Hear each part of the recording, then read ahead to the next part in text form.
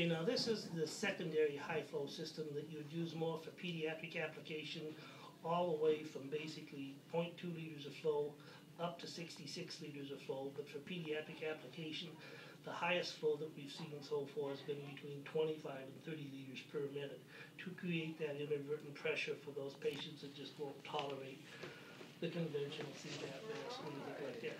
So what does the circuit consist of? The chamber, a single limb heated wire circuit. Okay, we have the cannula, which is our OptiFlow cannula, and we'll get into that. It's a pediatric one, or it's a small. And then this adapter, and I'll show you how that mounts as far to the system. So there's three pieces to that particular circuit. When you get ready to set the system up, first thing that you're gonna do is you're gonna take a cannula out of the package. We know about the heater, but again, when you turn it on, leave it in the invasive mode, that's thirty-seven forty-four milligrams. If you need to cool it down, put it in the non-invasive mode. Okay, from here, this adapter here is just a little bitty multiple access adapter. It has the stem and the humidifier system, so that allows me to hook it up to a flow meter, and I can get flow down into my chamber. Okay, once that's set up, got my heater turned on, I set my FiO2 that I wanna set, and I set the flow that I wanna deliver to the patient. Then I take a cannula out of the package. And when you take a cannula out of the package, this will pivot. So again, you can take the strength away and all of this stuff around the system. If you wanna do a nebulized treatment, you can put a nebulizer between here and there to administer medication to the patient if you'd like. When you get ready to put it on a patient, first thing I'm gonna do is show you the breakaway. The breakaway strap just gives you the capability, when you put it around somebody's neck, if they pull on it, it's gonna break away. Why do we have that? And I'll be the patient.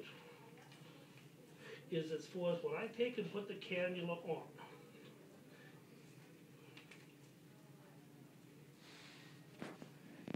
Sort of halfway tight. Now this is a pediatric cannula, so it's not fit, but you see how it's pulling on that circuit? I take this strap and I pull it up so that it takes the drag off the circuit, so the cannula wears flat, so it doesn't get pulled back and forth.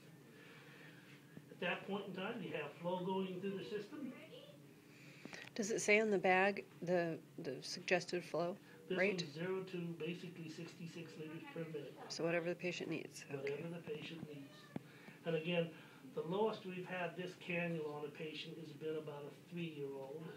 And you might be able to put it down a little bit lower, but it is really fairly comfortable. The difference between using this cannula versus the other ones, it disperses the flow, so it's very comfortable. Patients don't mind that whatsoever. So again, circuit, your flow meter, set your FiO2, you're set, ready to go. It's just like putting on a conventional cannula.